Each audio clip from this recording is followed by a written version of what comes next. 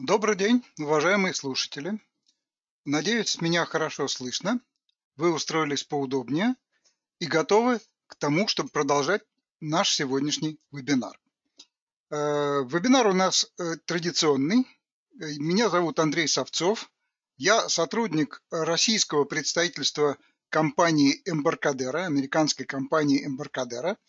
Мы работаем и проводим вебинары для всех тех разработчиков э, и пользователей по всему миру, кто предпочитает получать информацию на русском языке.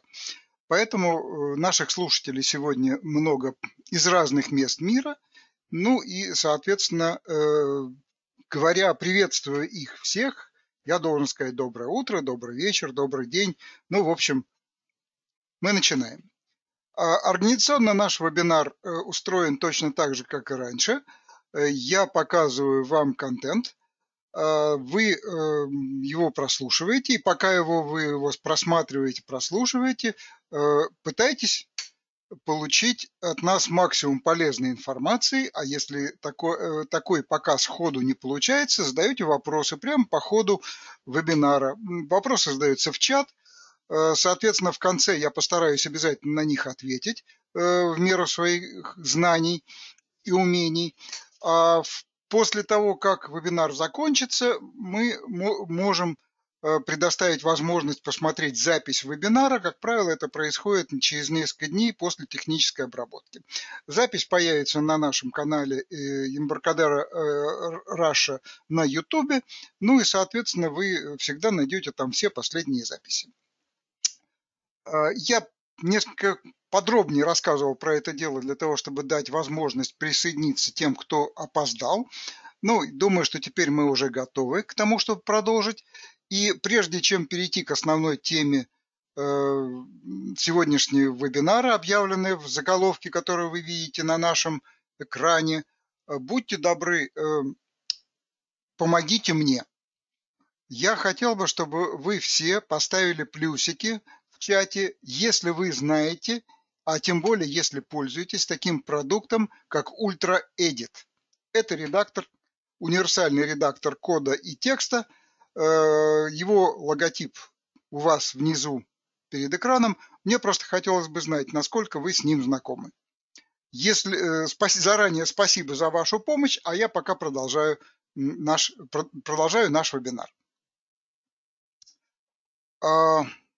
Поводом для сегодняшнего вебинара явились две причины. Во-первых, целая серия вебинаров, которые мы проводим последний э, месяц и в будущем, посвящены работе с Linux. Э, ну, в общем, достаточно понятная причина. Linux, интерес к Linux растет достаточно сильно в последнее время, и у нас определенные перспективы по использованию его, по крайней мере, аналогов на Э, территории, за которую мы отвечаем. Во-вторых, э, на прошлой неделе мы проводили очень интересный вебинар. Приходил наш гость, сотрудник компании Fast Report э, Дмитрий Зубов. И он пока рассказывал о том, как использовать Fast Report и его отчеты на Linux, причем рассказывал не только о вариантах с FireMonkey, Linux или еще какими-то другими, Э, поступил вопрос, ну, немножко тролльский, но все равно. Разве можно э, переходить на работу в Linux с такими шаманскими действиями, если требуются такие шаманские действия? И вот э, я решил, что мы повторим некие информационные сообщения, информационный вебинар для того, чтобы определиться еще раз, это совсем не, не шаманство. Есть определенный порядок для создания в Delphi приложений Linux, и этот порядок очень прост. Мы будем сегодня разговаривать по э, поводу RadStudio 12 на базе RadStudio 12. Это последняя версия на сегодняшний момент. Э, в ней много достаточно интересных э, обновлений по сравнению с версиями 11, которые широко известны э, у нас и по всему миру. Но э, в ближайшее, хочу сказать, что в ближайшее время мы ожидаем выхода следующего релиза 12.1, который будет содержать еще более интересных вещей и указывать на определенные тенденции, направления для будущего развития этого продукта. Э, не буду особо рассказывать про это дело, оставлю некоторую интригу, но э, сегодня мы рассказываем наш э, вебинар, проводим наш вебинар на базе RadStudio 12. Вебинар будет в основном предназначен для тех, кто, ну, может быть, не совсем в теме, для тех, кто еще пока не ушел глубоко в разработку на Linux и, в общем, скорее всего, это я бы хотел, чтобы э, результатом сегодняшнего вебинара у вас явилось четкое представление по шагам, что нужно делать для того, чтобы, во-первых, организовать рабочее место и, во-вторых, начать разработку в Linux. Э,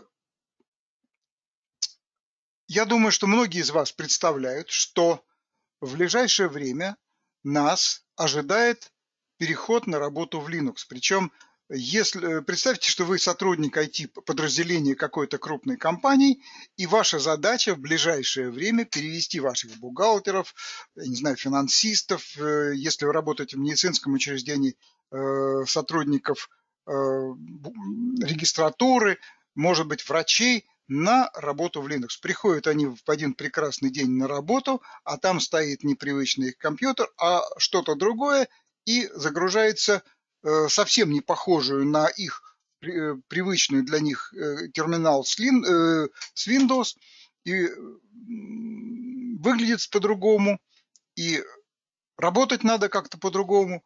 Что делать? Для того, чтобы, собственно говоря, компания могла продолжать свою работу, нужно прежде всего, чтобы новая система, работающая под Linux, выполняла те же самые функции, которые перед этим выполняла система под Windows. Во-вторых, необходимо, чтобы для того, чтобы э, система была успешной, она обеспечивала не меньшую скорость работы, скорость работы и пользователей, и собственную скорость работы, чем это было у Windows-системы. Естественно, новая среда вносит определенные э, вызовы, определенные проблемы в области безопасности. Хотя Linux считается более безопасным, чем Windows, но и этой безопасностью надо уметь э, регули... Э, управлять, регулировать этой средой безопасности. Ну и, конечно же, я почти уверен, у ваших пользователей будет первая реакция «Ой, как это все не так, как было!»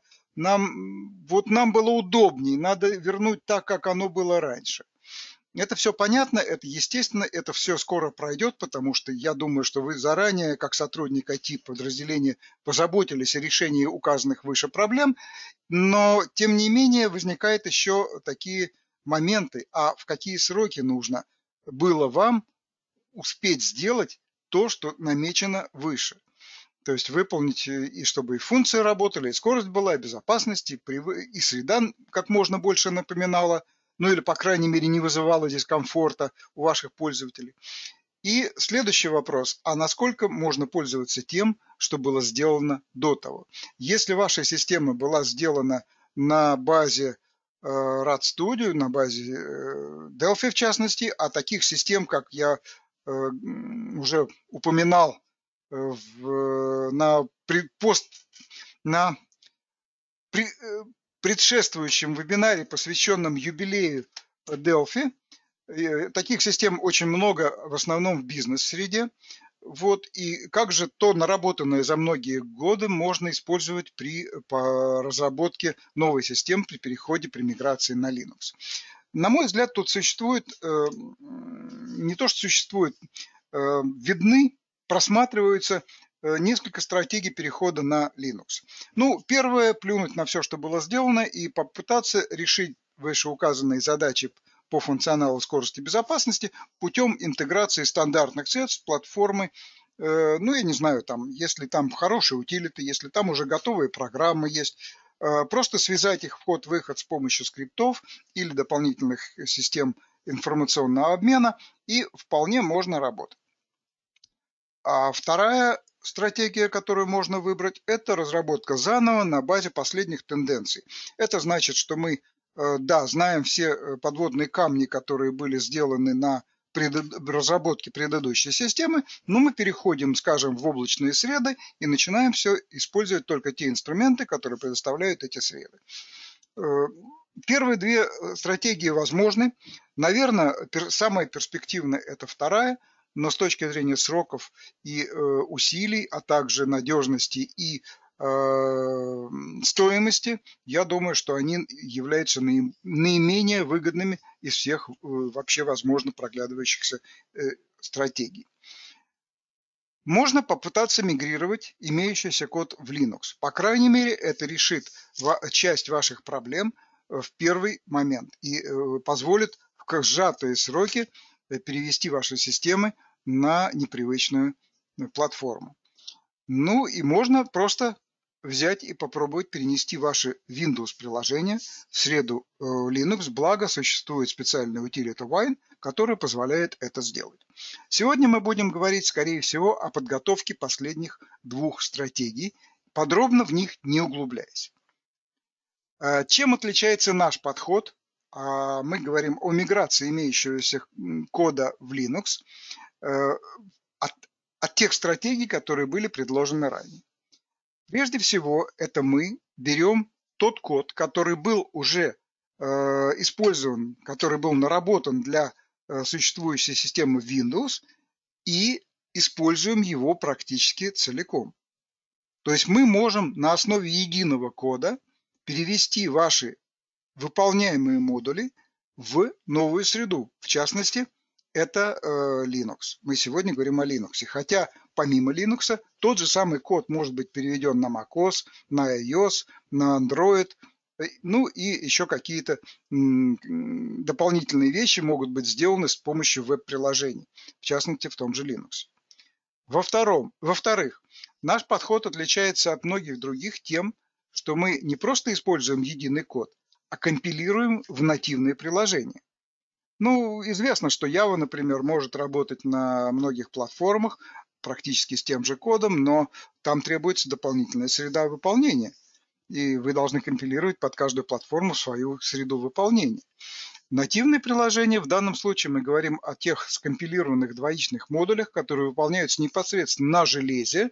Они обеспечивают при этом наиболее приемлемые, наиболее выгодные скоростные параметры выполнения, и кроме того, они выгодны еще по соображений э, большей безопасности, труднее внести туда изменения какие-то на уровне двоичного кода. Вот поэтому мы и выбрали такой кроссплатформенный подход, когда мы фактически позволяем использовать э, разработку под э, Windows, например, э, наша система разработки идет на Windows, а компилируем под разные платформы, и сегодня мы будем говорить о том, что нужно сделать, чтобы скомпилировать на Linux. Не новая тема, мы очень давно публикуем информацию, подробную информацию на это. Прошу прощения за паузу. Итак, в публикаций в блоге было много, но они по предыдущим версиям, и там могли быть какие-то, э, во-первых, э, другие детали по э, настройке среды, во-вторых, с тех пор появилось достаточно много вариантов инструментальной настройки, которые стали более удобны и более экономичные для того, чтобы настраивать эту среду. Также мы проводили много вебинаров, я, скажем, как организовать и начать разрабатывать, какие системы можно использовать компоненты для разработки э, приложений, как они выглядят, как ими управлять. Все это было уже на предыдущих вебинарах. И более того, даже был один вебинар, который мне было очень приятно представлять о том, э, истории успеха нашей отечественной компании, которая э, вполне использует успешно Delphi и компилирует под Linux для коммерческих продуктов, причем очень хороших коммерческих продуктов. А, создание приложений в Linux в Delphi происходит только в Delphi. C++ пока не может компилировать для Linux, но это в перспективе будет проблема решена. То есть мы сейчас пока говорим только о Delphi, поскольку это реальный э, работающий вариант.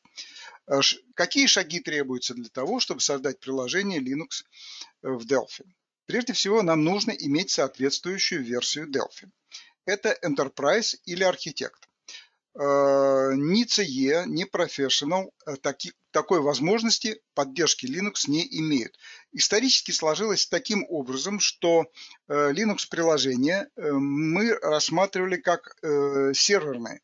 То есть мы, конечно, предпочли делать сервера, на Linux для того, чтобы они работали где-то там в бэкэнде и, э, соответственно, э, клиентскую часть, фронтенд можно было делать на чем угодно, на веб-приложениях, на VCL, э, на FMX, работать с мобильных устройств, ну и так далее и тому подобное.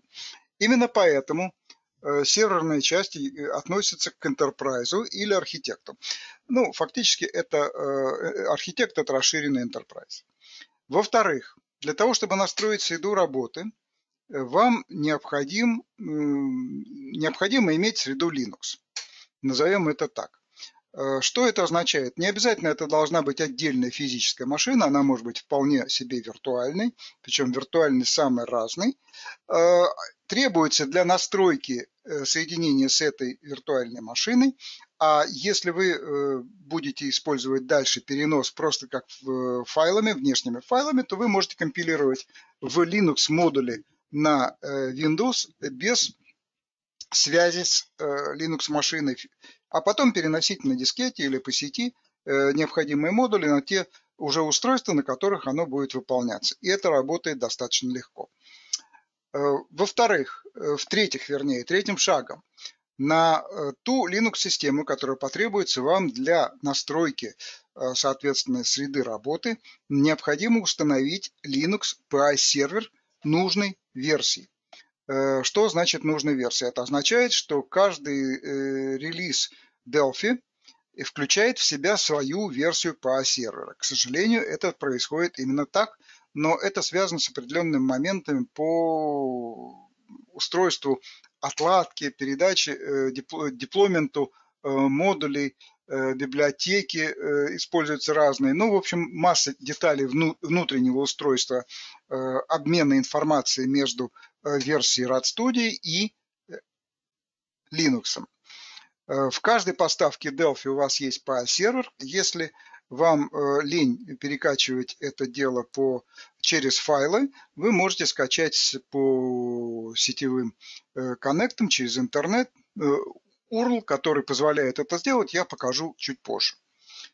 А, что это также может для вас означать? Это означает, что если у вас в разработке используется несколько релизов Delphi, то есть, скажем, Delphi 11, Delphi 12, может быть Delphi 10, Э, то вы можете вполне себе установить на Linux машину несколько PA-серверов и в нужный момент запускать именно тот, э, который соответствует версии, используемой вами для разработки э, вот в данный момент Delphi.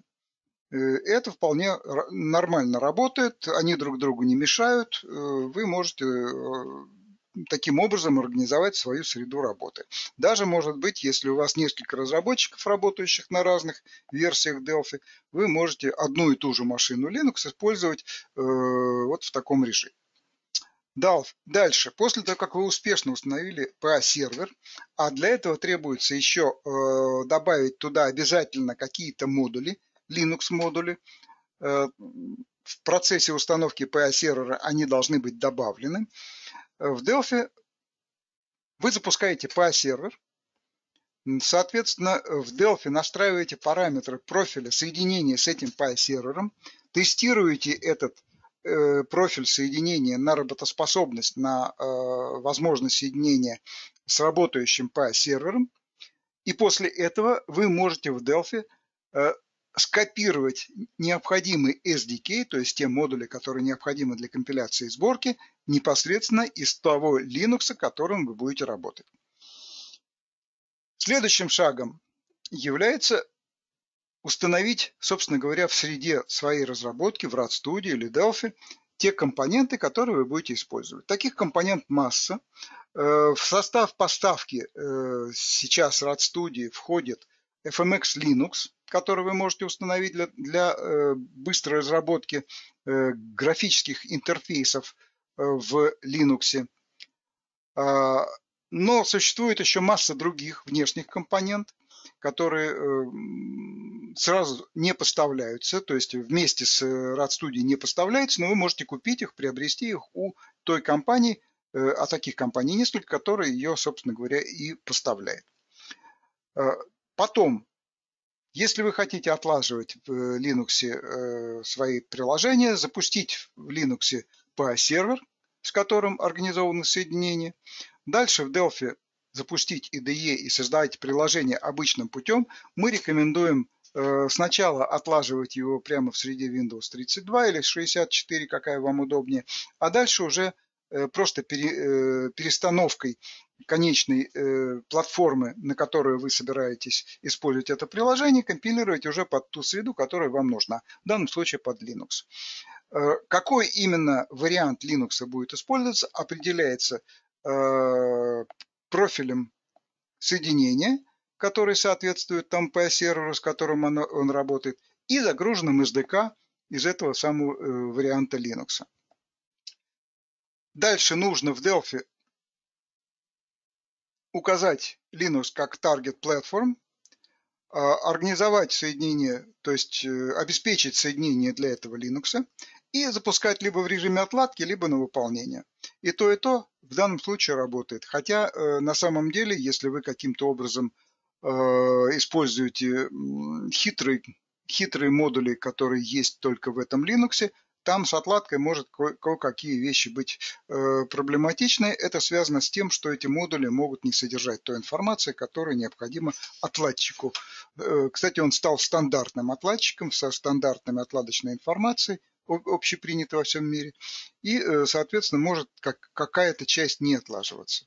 Ну, собственно говоря, вот 10 шагов, которых достаточно для того, чтобы создавать свои приложения в Linux на базе той кодовой основы, на основе той кодовой базы, которая у вас существует уже готовых приложений. Хотите создавать приложение по новой, да, это тот же самый быстрый режим, RAD режим, который существует раньше. Значит, тут хотел бы еще отметить несколько важных вещей, потому что были вопросы, мне периодически задают подобные вопросы э, по поводу различных деталей, почему у меня что-то не идет, ну и выясняется, что э, не учтены вот эти самые нюансы, э, которые указаны здесь на этом слайде. Во-первых, сейчас разработка только в Delphi, компилятор только для Паскаля, на Linux 64 бита. То есть, если вы говорите о 32-битном Linux, у нас компилятора под него пока нет. И, в общем, скорее всего, наверное, не будет. Во-вторых, это не просто 64-бит Linux, а это интеловский Linux. Хотя в сторону ARM идет разработка, не могу вам сказать, когда она будет завершена, но э, это в планах есть и, и движение в эту сторону наблюдается. Теперь, когда мы говорим о поддержке Linux, мы официально поддерживаем э, всего два типа Linux. Это Ubuntu и это Red Hat. Версии Ubuntu самые разные. Мы здесь, я здесь указал те, которые описаны в документации. На самом деле пробовали и на некоторых других. Э, кроме того, существует еще официально поддерживаемая виртуальная система э, Windows э, Subsystem for Linux, которая сейчас поставляется вместе с Windows 10 и Windows 11. И это, на мой взгляд, самая удобная среда для того, чтобы отлаживать, вести разработку Linux-систем. Об этом немножко чуть позже.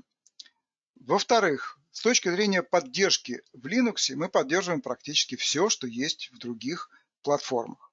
Это ERTL, это работа с базами данных, это ввод, вывод, доступ к э, э, базам данных, э, работа с HTTP, поддержка интерфейсов REST и других API, которые были раньше, в частности облачных это интеграция с э, некоторыми э, общепринятыми серверами, которые э, работают именно в среде Linux.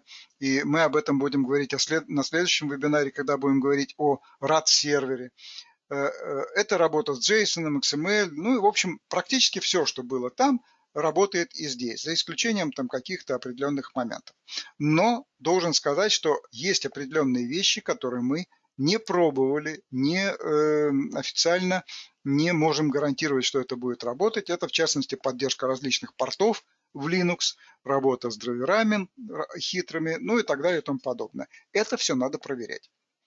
Если это вам потребуется, вы должны, во-первых, э, настроить среду Linux для того, чтобы это все работало, обеспечить те модули, которые нужны, и дальше проверять. Мы это пока не проверяли. Значит, я уже говорил, что для Linux нужен, э, извините, для разработки доступ к Linux нужен только в первый момент для импорта SDK.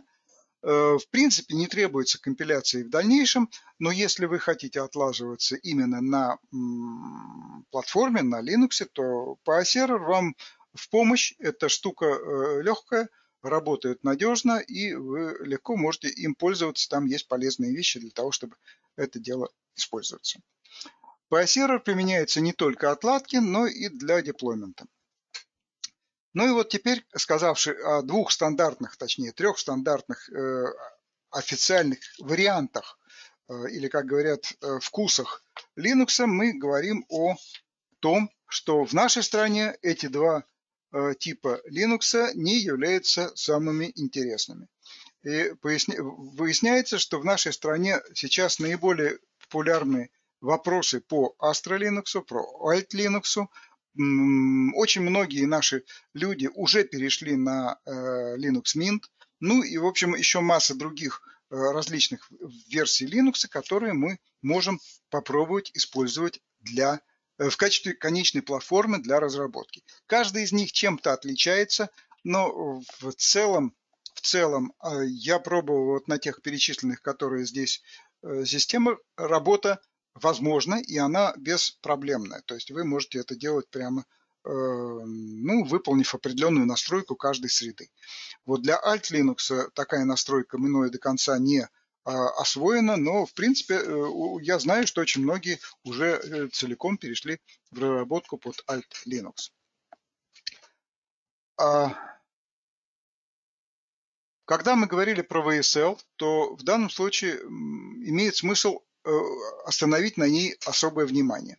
VSL сейчас доступна на любой машине с Windows 10 и Windows 11, ну, практически на любой, потому что нужно, чтобы работали функции Hyper-V, э, Hyper-V. Соответственно, если у вас машина, э, на ней выключены эти функции, то либо включите, либо, значит, соответственно, придется искать другую машину. Э, производительность VSL 2 сравнима с нативным Linux, и, соответственно, э, вы можете обеспечить поддержку графических интерфейсов путем загрузки туда соответствующих и в Windows, кстати, тоже соответствующих их, их серверов и запускать графические приложения Linux прямо из VSL э, и наоборот, из Windows запускать э, Linux-приложения, такие, которые будут запускать X э, сервера, графические интерфейсы. Ну, преимущества и применения VSL я особо э, на них останавливаться не буду, но, в общем, понятно, что это удобнее, когда у вас все время виртуальная машина здесь, не надо ничего там доделывать. VSL позволяет установить самые различные варианты Linux, из коробки прямо в Windows поддерживается, по-моему, 4 системы, но в принципе через Backup и Restore вы можете установить любой практически вариант Linux, в частности, э, CentOS наши устанавливали, еще какие-то вещи. Вот, это, э, мы сегодня этого касаться не будем, но это возможно. Вы можете таким образом использовать эту систему не только для Э, работы с Linux в RAD Studio, в Delphi, но и для запуска, скажем, там, я не знаю, системы Docker, для того, чтобы запускать сложно сочиненные системы серверной поддержки, ну и так далее и тому подобное. Итак, давайте перейдем непосредственно к установке PyServer на Linux. Для того, чтобы это сделать, необходимо установить пакеты, которые прописаны в документации, и, соответственно, перенести дистрибутив PyServer нужной версии, установить его и э, выполнить определенные скрипты. Э, что значит выполнить определенные скрипты? Вы можете делать все, э, что в этих скриптах вручную. Это написано в документации, что вам нужно сделать. Но просто скрипт, в частности для Ubuntu, указанный здесь по э, данной сокращенной ссылке, сделает все за вас. Там он уже был отлажен, он был уже настроен. И если у вас Ubuntu или что-то Ubuntu, основанное на Ubuntu, то это будет работать. Э, подобного скрипта для Red Hat у нас для RAD Studio 12 пока нет, но там надо всего лишь только заменить номер версии с 22 на 23, и в принципе вы можете пользоваться указанным здесь скриптом для Э, предыдущей версии Delphi для того, чтобы э, выполнять те же самые действия, которые делает э, скрипт для Ubuntu в автоматическом режиме. Другие виды Linux, к сожалению, не имеют таких официальных скриптов, и в частности для Alt Linux мне пришлось разбираться с многими действиями, которые необходимы. В документации они не описаны, и, к сожалению, я пока не дошел до конца, чтобы написать подобный скрипт. Чем хорош э, такой скрипт? Тем, что э, потом для запуска PA сервера вам нужно будет просто из домашнего каталога набрать вот эту самую строчку .slash pa23sh, и этот скрипт выполнится, запустит вам тот, ту нужную версию, которую вы хотите. Если вам нужно запустить другую версию, PA сервера, набираете аналогичный совершенно скрипт PA22 или там 21, и они запускаются тоже на вашем компьютере. Э, в параллель не рекомендую. Э, в параллель они могут друг другу мешать, по крайней мере пересекаться на портах. Ну и давайте теперь перейдем на примеры. Пример я буду показывать на основе э, вот этой виртуальной машины. В данном случае я использую виртуальную машину. Это Mint.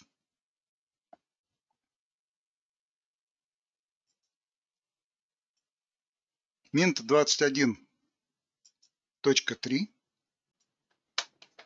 Вот. И что мне нужно сделать?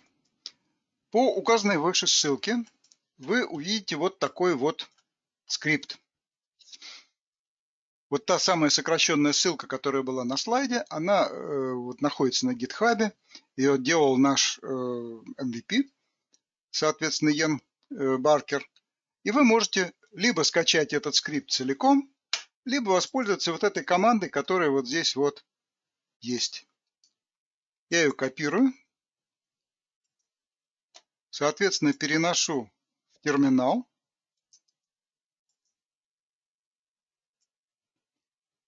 И запускаю. Что делает эта команда? Эта команда скачивает из GitHub вот этот самый скрипт и начинает его выполнять.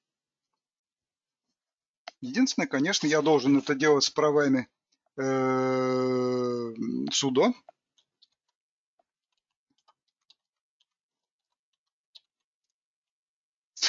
И дальше он пошел выполняться. Э, скрипт написан неплохо, и в том смысле, что если у вас уже установлен PA-сервер Э, соответствующей версии, не пугайтесь, он просто э, его поменяет, если это необходимо. Вот видите, скорость выполнения этого скрипта, все было сделано. Давайте просто посмотрим, что там делалось, что, собственно говоря, в этом скрипте было.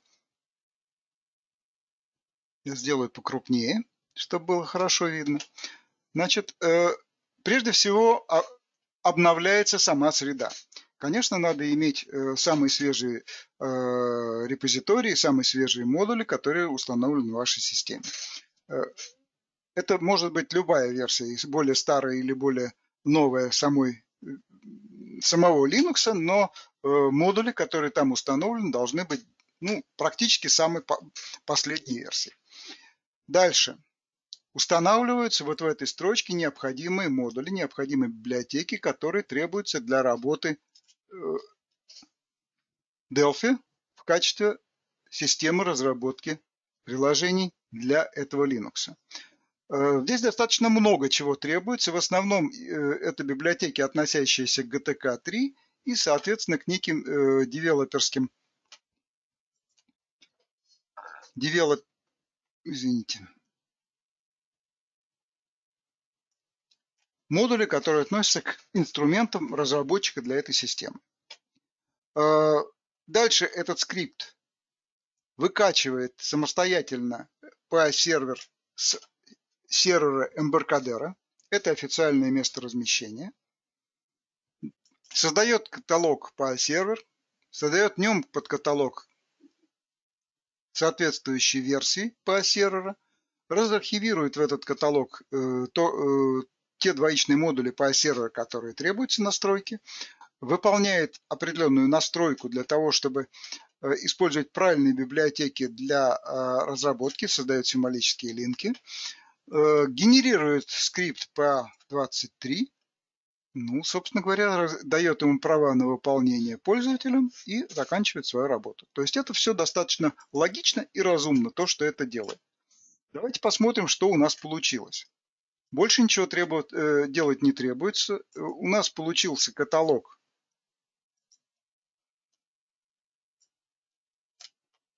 каталог PyServer. В нем под каталог 23. И вот модули PyServer и PyConsole. Консоль это э, еще один вариант работы с PyServer, который позволяет там делать как, логирование. Так, в этом же каталоге появляется ScratchDir, где дальше, дальше тот пользователь, который сейчас работает, может создавать свои приложения. То есть ваши приложения будут помещаться именно в ScratchDir. Управлять этим местом вы можете в настройках по серверу. Вы можете указать другой каталог, не тот, который по умолчанию. Но здесь вот уже э, были созданы определенные приложения, которые я в свое время тестировал в этой среде, в этой среде выполнения. Что теперь требуется с точки зрения выполнения следующих шагов? Дальше нужно запустить RAD Studio. Я, давайте я не буду закрывать Mint для того, чтобы можно было с ним в дальнейшем работать. Так, мне нужен, нужна консоль. Вот мы открыли соответствующим образом RAD Studio. Идем в Tools, нам ничего особо не нужно. В, Options, и здесь у нас есть раздел Deployment. Если вы не можете найти размер deployment, вот здесь можно искать прямо вот здесь вот в качестве э, Profile Connection. Connection Profile Manager. У меня уже здесь настроены несколько э, коннекций, профилей коннекций для моих систем, в частности для Ubuntu, для э, Alt Linux, для Mint. Э, что, если у вас здесь нет ничего, нажмите кнопку «Добавить». Э, дайте его название и укажите, какой системе идет речь. Linux 64 обязательно, иначе он будет брать другой SDK. Значит, соответственно, дальше вы будете говорить о том, как добраться до вашей машины. Можно использовать либо сетевое имя, либо IP-адрес соответствующий порт, на котором вы работаете, и если хотите, можете запаролить эту коннекцию для того, чтобы э, не каждый мог ей воспользоваться. Я э, обхожусь пока без этого. Э, давайте посмотрим, вот здесь вот мы работаем с Минтом. У меня, да, кстати, извините, еще одну вещь, которую не обязательно нужно сделать. Здесь нужно запустить PyServer. А для этого давайте сделаем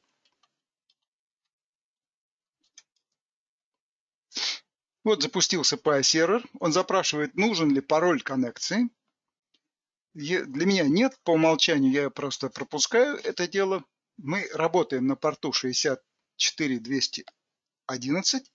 И я, э, если я не знаю, что мне тут дальше делать, есть help. Это доступные команды для того, чтобы работать с PI-сервером. Они все описаны в документации, но они очень просты вы э, для выхода из PI сервера нужно нажать Q, quit. Для того, чтобы э, порт определить P, порт number, для того, чтобы доступные IP-адреса I, ну и так далее и тому подобное. Значит, соответственно, здесь все написано. Для меня сейчас важно определить, какой IP-шник я должен использовать для этой машины. Для этой машины я должен использовать э, вот этот айпишник, потому что мы соединены с виртуальной машиной именно по этой подсетке. Значит, соответственно, здесь я указываю его же, порт тот же самый и проверяю коннекцию. Вот в данном случае, видите, коннекция работает. Если бы у меня стоял и запущен был 22-й PI-сервер, который здесь же присутствует, э, то появилось бы сообщение, у вас старый PI-сервер, вам необходим PI-сервер такой-то версии, э, возьмите его там-то и установите. То есть сразу подсказка, где это дело брать. Дальше, что нужно сделать для того, чтобы настроить свою среду, это перейти в SDK менеджеры. Здесь у меня несколько SDK пакетов, которые нужно. Э, и вот если бы у меня не было Linux Mint, я бы опять-таки добавил здесь соответствующий э, платформу, коннекцию, которую там я хочу, допустим, и название этого SDK, который у меня там есть. Я не буду ничего добавлять новое.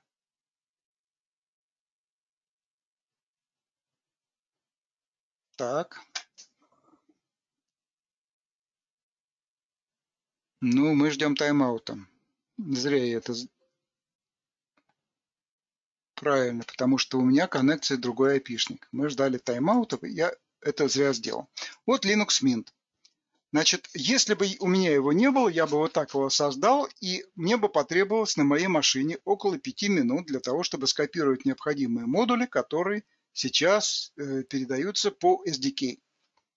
У меня такого не требуется, поскольку у меня самый свежий SDK, но если вы там что-то поменяли, добавили какие-то юниты, например, э, для доступа к базам данных FireDAC вы можете добавить туда какие-то соответствующие э, модули.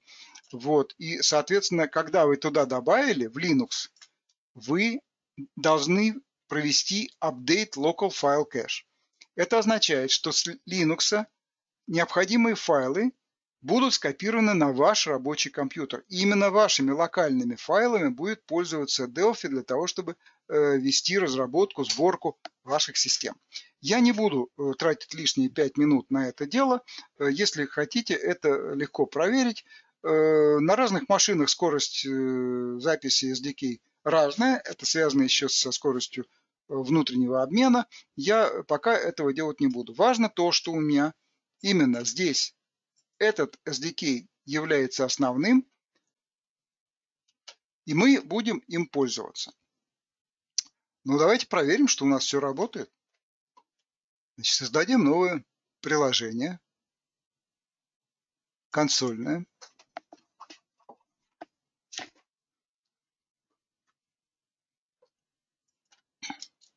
Значит, здесь, соответственно, я пишу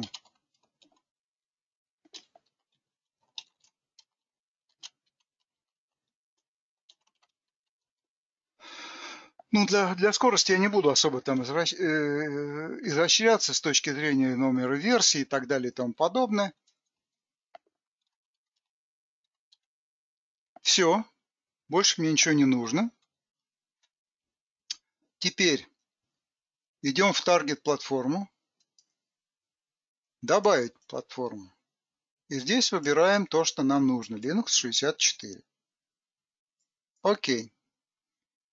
Здесь надо обязательно проверить, а какие же здесь идут настройки. SDK должен соответствовать тому Linux, с которым вы сейчас работаете. Коннекция должна соответствовать тому Linux, в котором вы сейчас будете связываться. Ну что ж, давайте попробуем запустить.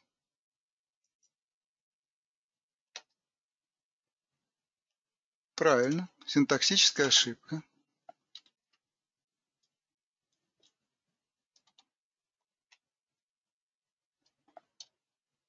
Еще раз запускаем. Так, где-то я что?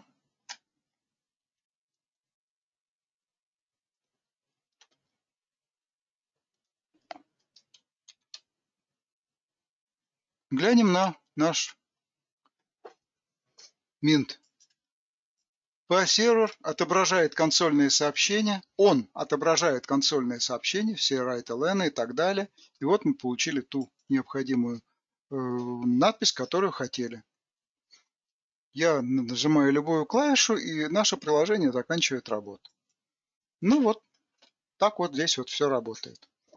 Так, что мы еще можем сделать э, для того, чтобы показать работу конкретно вот с Минтом? Давайте откроем еще одно приложение, которое я перед этим вот сегодня делал. Тест 01. Значит, приложение очень простое. Это э, некое FMX-приложение. Значит, я, э, ну, собственно говоря, что сделал? Я взял добавил сюда панель. Вот T-Panel, вот он. Извините, это я уж так добавил еще лишнее, просто, ну, пускай будет здесь. Так, э, на него добавил обычную кнопку button.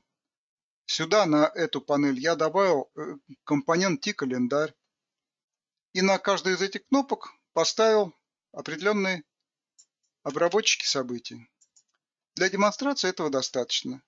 Мне важно было посмотреть, в какой момент идет событие календарь Change, календарь Date Selected и календарь Date Click.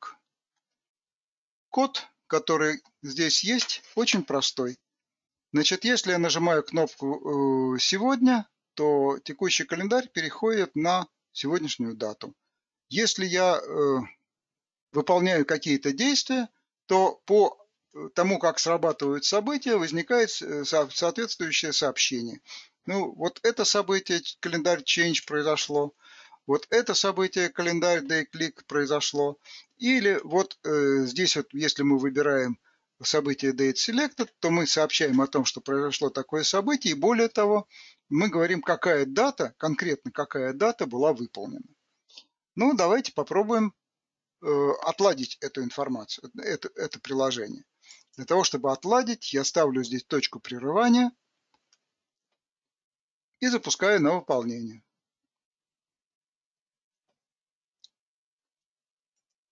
В нашем виртуальной машине, в нашей виртуальной машине появилось наше соответствующее, соответствующее приложение. Это приложение FMX, просто которое было пере, перекомпилировано под Linux.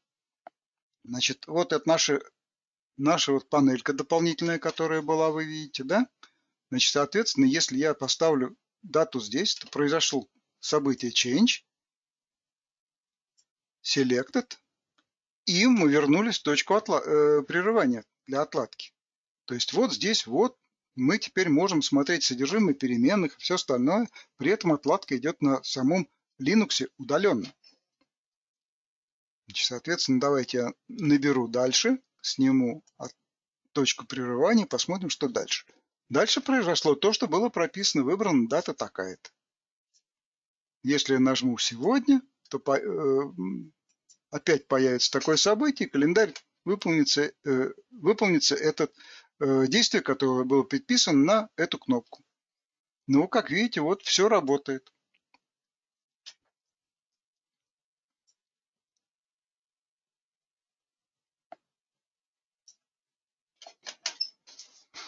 Что хотел бы еще показать? Хотел бы показать две вещи. Значит, во-первых, я бы я, пожалуй, сейчас выключу уже э, RAD Studio, потому что мы компилировать приложение не будем.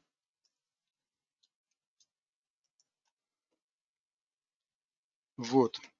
Значит, здесь мы, э, здесь мы, и нам, нам фактически не требуется теперь PI-сервер, потому что э, мы отладку удаленную проводить не будем.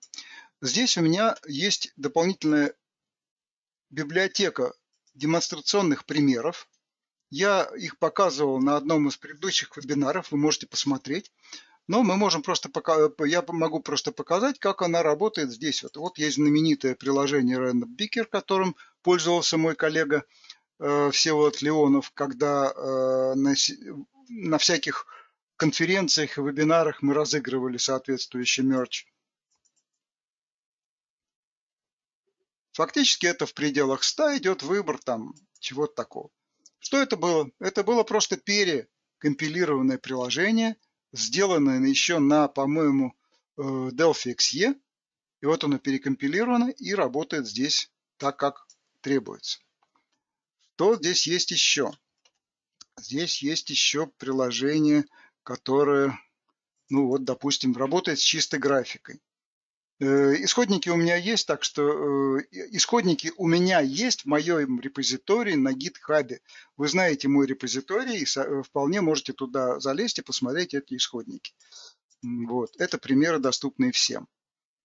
Ну вот он конкретно здесь он генерит золотое сечение.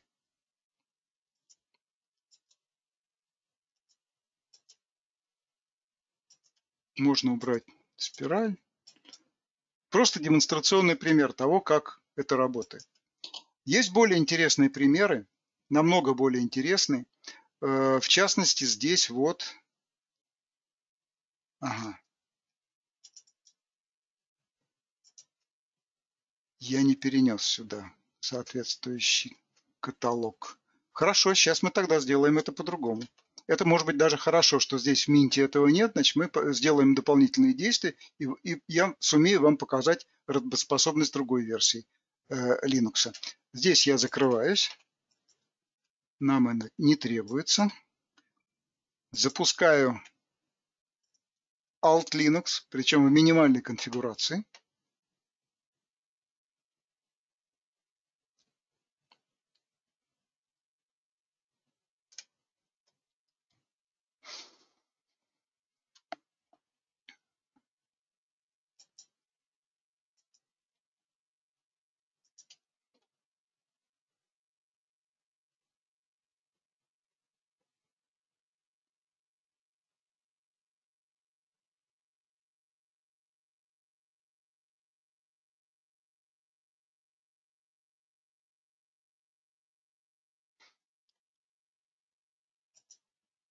Запускаю консоль. Просто хотел показать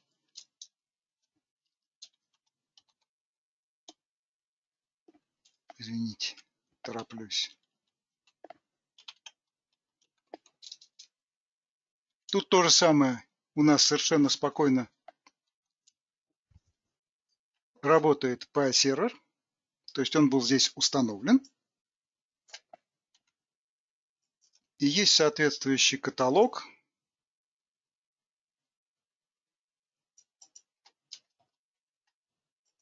Есть соответствующий каталог домашней папки, который я хотел вам, собственно говоря, показать. Здесь есть вот такая штука под названием Controls Demo.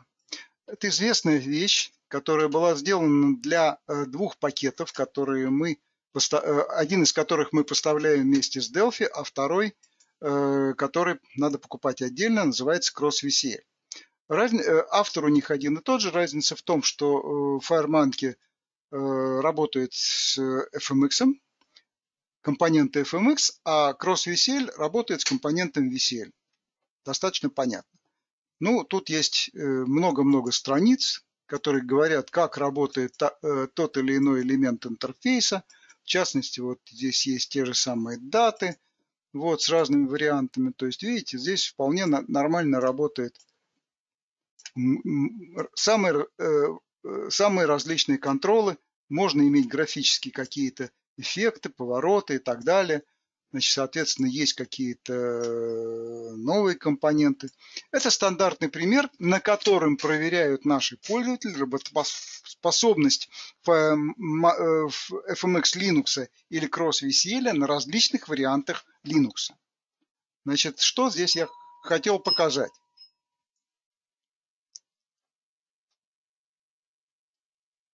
Здесь я хотел показать,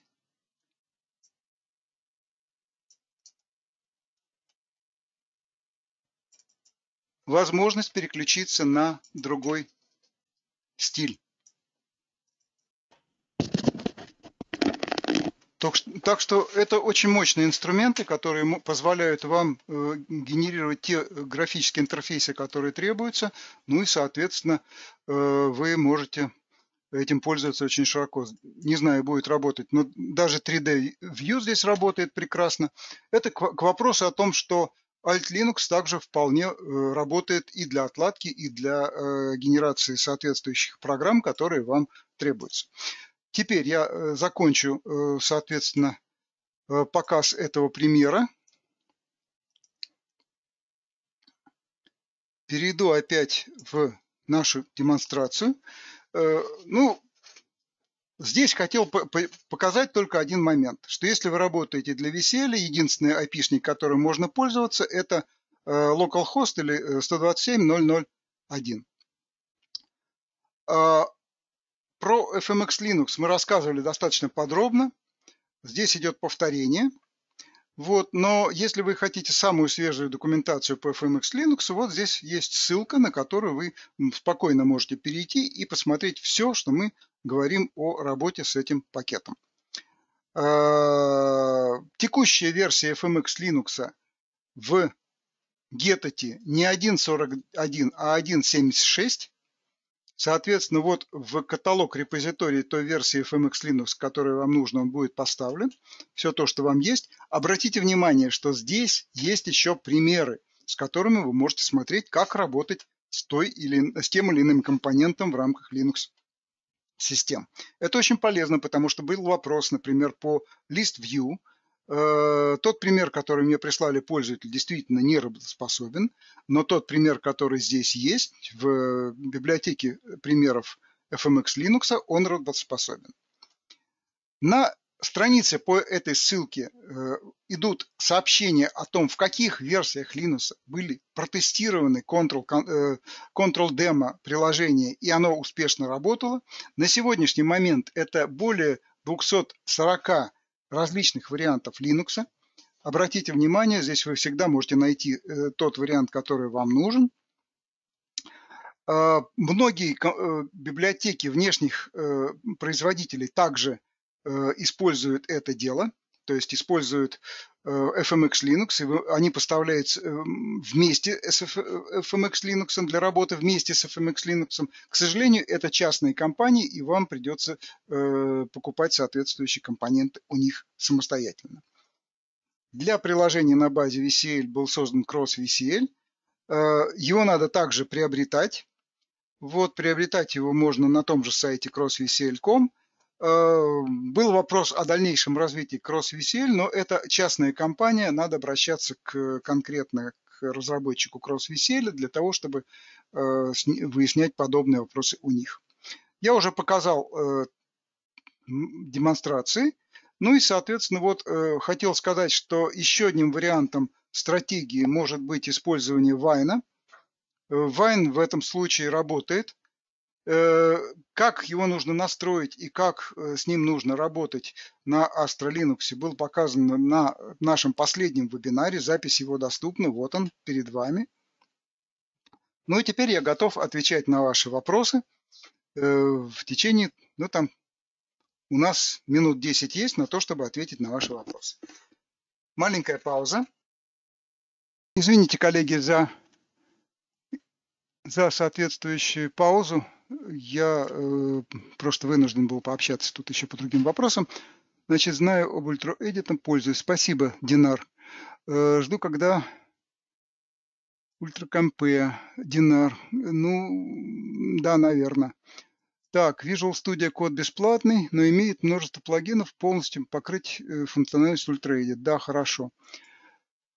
Так, Сергей, никогда не станет топчиком, в нем изначально заложен бардак и корявость. Сергей, ну это ваше мнение, пожалуйста, можете высказывать.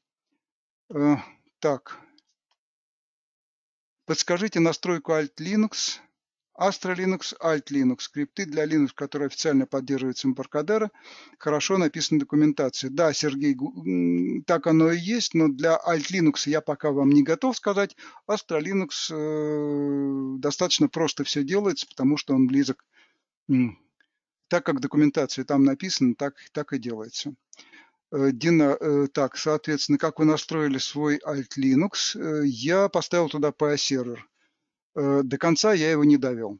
Так, какой объем памяти рекомендован для VCL? Э, минимум 8 гигов. Так, работает ли отладка для приложений Delphi, запущенных в Wine? Не работает, э, Динар. Что под капотом Linux? Что за библиотека для отрисовки форм? GTK+, 3+ непонятно, не совсем понятно, что такое SDK и где его взять. Он входит в состав, э, Станислав, он входит в состав самого Linux. Планируется ли от студия поддержка Linux без под, использования FMX Linux? Э, нет, не планируется. Про кросс-весель немножко подробнее. Это набор визуальных компонент или какой-то перекодировщик. Да, это набор визуальных компонент, нативных для веселья. Так, э, как устанавливать компоненты FMX Linux, которые написаны самостоятельно? Владислав, очень хороший вопрос, на который пока не готов ответить. В принципе, в принципе, вы заходите в исходники FMX Linux, он поставляется в исходниках, смотрите, как там э, пишутся компоненты, устанавливаете, э, устанавливаете их, как, как, как те сделаны. И не более того. Это обычные компоненты. Так, коллеги, не могли бы вы выложить э, настройку для Astra Linux? Да, я, Сергей, постараюсь это сделать, э, но уже в рамках э, не вебинара, а в рамках блога или дополнительно где-то еще. Обязательно вам пришлю. Коллеги, извините, мы вышли из того времени, которое было а, заложено на наш вебинар. Я вынужден прекратить его закончить его. Очень рад был, что вы были с нами и приходите для следующих, в следующий раз. Всего доброго, спасибо.